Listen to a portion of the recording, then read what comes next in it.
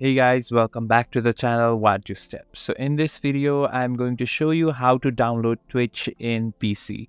So it's very simple. First of all, you just have to go to any browser you want. You can just go to Chrome or Firefox. So I'm going to Chrome here.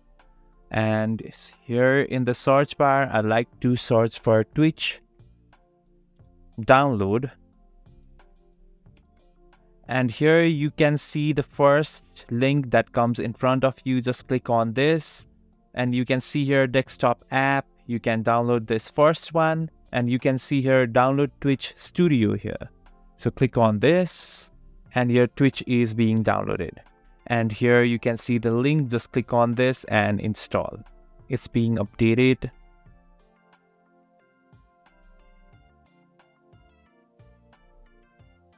and it says do you want to allow public and private network to access this app? Just click on allow and your twitch studio is downloaded.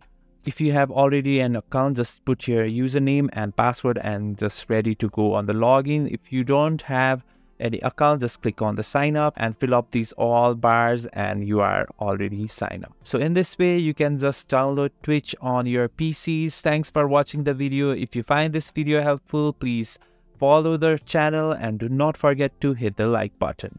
Thank you.